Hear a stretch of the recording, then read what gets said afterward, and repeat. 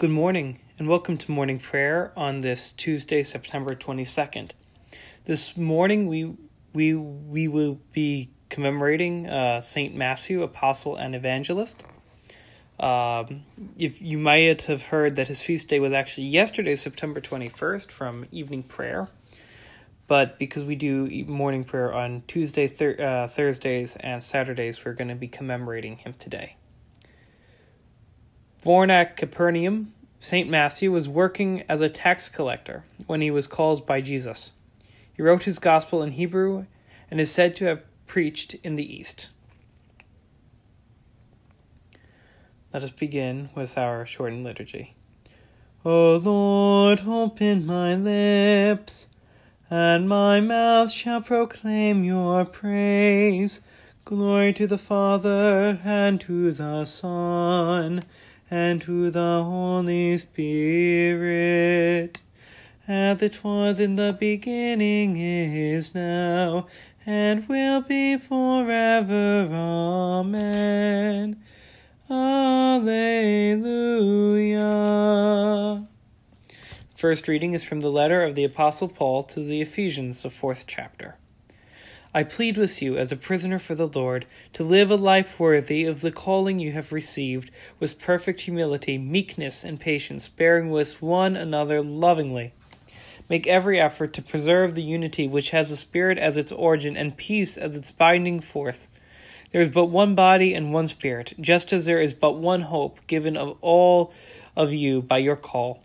There is one Lord, one faith, one baptism, one God and Father of all, who is over all and works through all and is in all. Each of us has received God's favor in the measure in which Christ bestows it. Thus you find Scripture saying, When he ascended on high, he took a host of captives and gave gifts to all. He ascended. What does this mean? But that he had first descended into the lower regions of the earth. He who descended is the very one who ascended high above the heavens that he might fill all with his gifts. It is he who gave apostles, prophets, evangelists, pastors, and teachers in all roles of service for the faithful to build up the body of Christ, till we become one in faith and in the knowledge of God's Son, and form that perfect man who is Christ come to full stature. Let us then be children no longer, tossed here and there, carried about by every wind of doctrine that originates in human trickery and skill in proposing error Rather, let us profess the truth in love and grow to the full maturity of Christ the head. Through him the whole body grows, and with the proper functioning of the members, joined firmly together by each supporting ligament, builds itself up in love. The word of the Lord. Thanks be to God. And a reading from a homily by St. Bede the Venerable. Jesus saw a man called Matthew sitting at the tax office, and he said to him, Follow me. Jesus saw Matthew, not merely in the usual sense, but more significantly, was his merciful understanding of men. He saw the tax collector, and because he saw him through the eyes of mercy and chose him, he said to him, Follow me. This following meant imitating the pattern of his life, not just walking after him. St. John tells us, Whoever says he abides in Christ ought to walk in the same way in which he walked. And he rose and followed him. There is no reason for surprise that the tax collector abandoned earthly wealth as soon as the Lord commanded him. Nor should one be amazed that, neglecting his wealth, he joined a band of men whose leader had, on Matthew's assessment, no riches at all. Our Lord summoned Matthew by speaking to him in words by an invisible interior impulse flooding his mind with his light of grace, he instructed him to walk in his footsteps, in his life, in his way.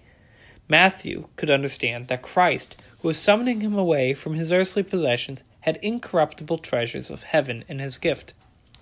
As he sat at the table in the house, behold, many tax collectors and sinners came and sat down with Jesus and his disciples. This conversion is of one tax collector gave many men, those from his own profession and other sinners, an example of repentance and pardon. Notice also the happy and true anticipation of his future status as apostle and teacher of the nations. No sooner was he converted than Matthew drew after him a whole crowd of sinners along the same road to salvation. he took up his appointed duties while still taking his first steps to the face. And from that hour he fulfilled his obligation and thus grew in merit. To see a deeper understanding of the great celebration Matthew held at his house, we must realize that he not only gave a banquet for the Lord at his earthly residence, but far more pleasing was a banquet set in his own heart, which he provided through faith and love. Our Savior attests to us Behold, I stand at the door and knock. If anyone hears my voice and opens the door, I will come in to him and eat with him, and with me, and he with me.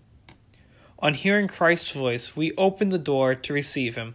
As it were, when we freely assent to his promptings, and when we give ourselves over to doing what must be done, Christ, since Christ, since he dwells in the hearts of his, chosen ones through the grace of his love, enters so that he might eat with us, and we with him.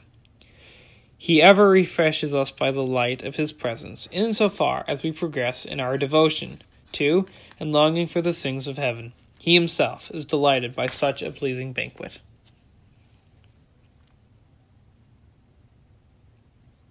The Lord be with you, and also with you. Let us pray. God of mercy, you chose a tax collector, Saint Matthew, to share the dignity of the apostles.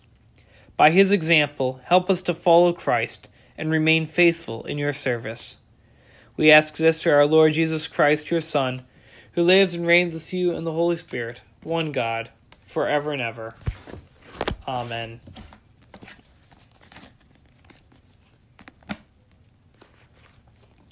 Remember us, Lord, when you come to your kingdom and teach us how to pray.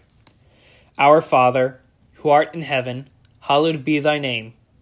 Thy kingdom come, thy will be done, on earth as it is in heaven. Give us this day our daily bread and forgive us our trespasses, as we forgive those who trespass against us. And lead us not in temptation, but deliver us from evil. For thine is the kingdom, and the power, and the glory, forever and ever. Amen. Let us bless the Lord. Thanks be to God. May the Lord bless us, protect us from all evil, and bring us to everlasting life. Amen. We wish you all a blessed day and look forward to seeing you in the evening for evening prayer. Go in peace to love and serve the Lord. Thanks be to God.